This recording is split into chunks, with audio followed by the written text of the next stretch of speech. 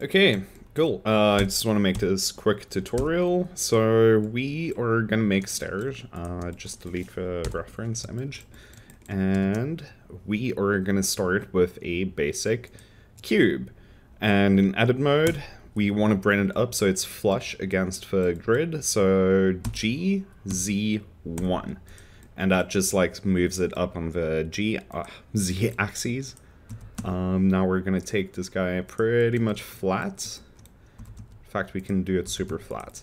Now we are to grab it on the y-axis, pull it up, and now we're to go into edge selection, bring this up, the top face, and now we have somewhat of a ramp. So now we are to loop cut it with control R, slide it up a little bit, uh, just eye it, this isn't going to be perfect. Um, yeah, come on.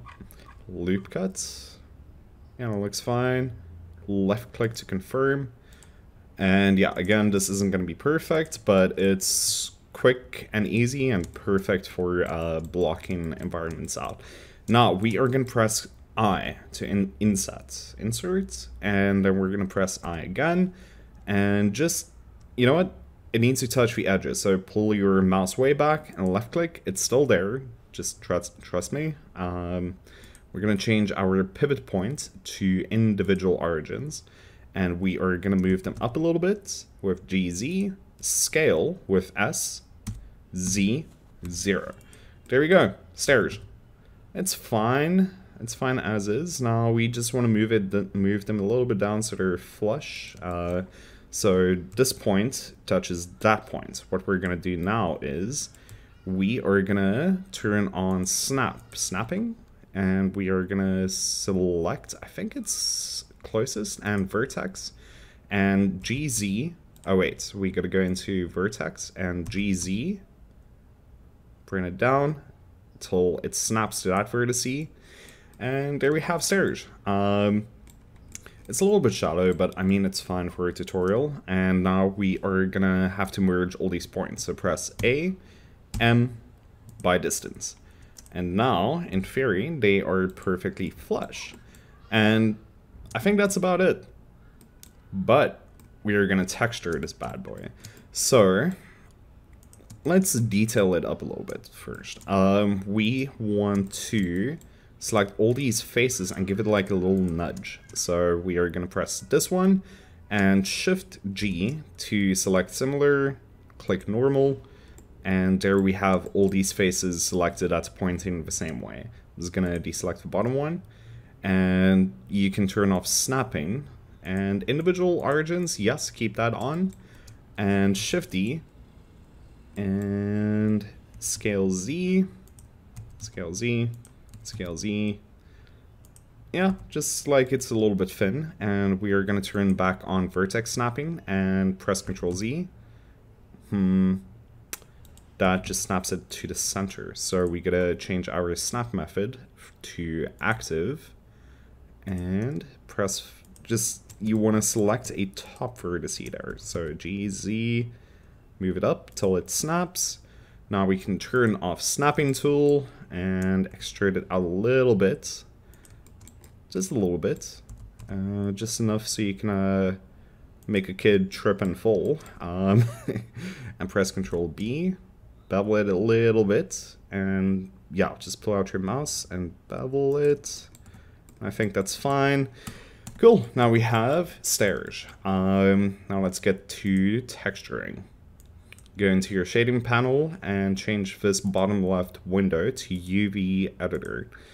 And we got to start with a material. So let's make a new material. In fact, let me just open the material slot so you can follow along.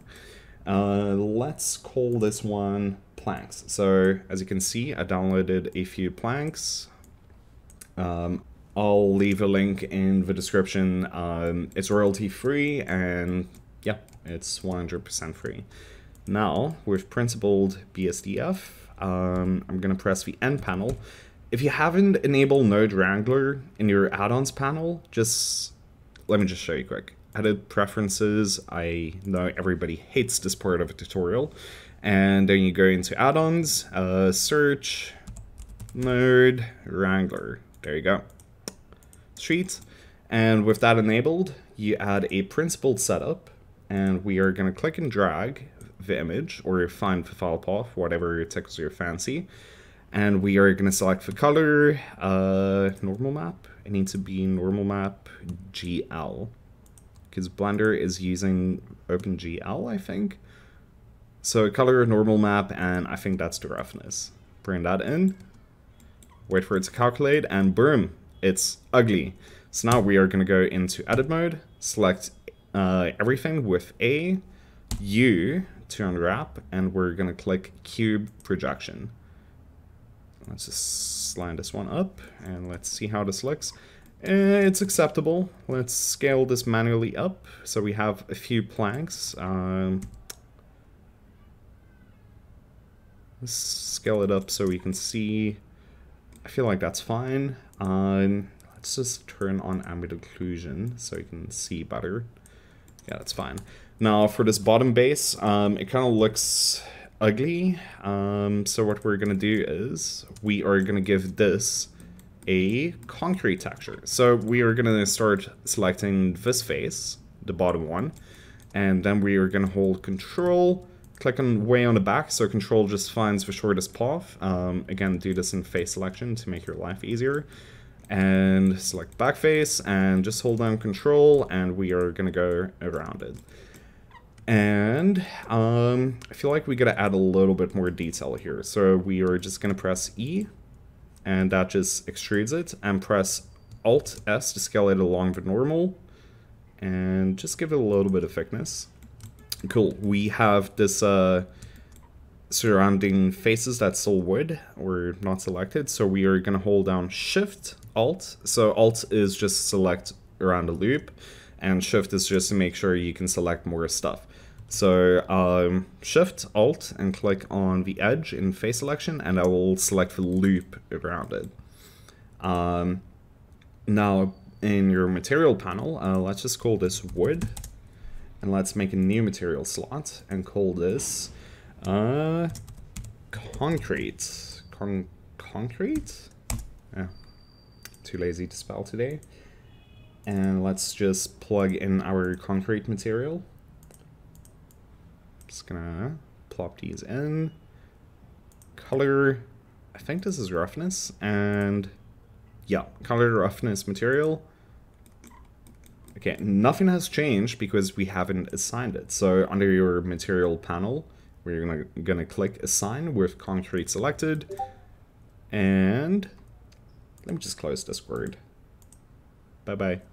And then we're just gonna scale this up. And there we go. Some nice fancy stairs. Um, you can like detail it a little bit. Um, you can, in fact, the topology is somewhat good for loop cuts and stuff. So let's say it's a modern house. We are going to select uh, some faces on the edge. So hold down control and press I and extrude this a little bit and give it a little bit of a bevel. There you go. You have a nice rich people staircase for some brutalist architecture. I hope this helps. Um, it's not the correct way of doing perfect staircases, but if you need something fast and ASAP, this is good enough. Okay, bye.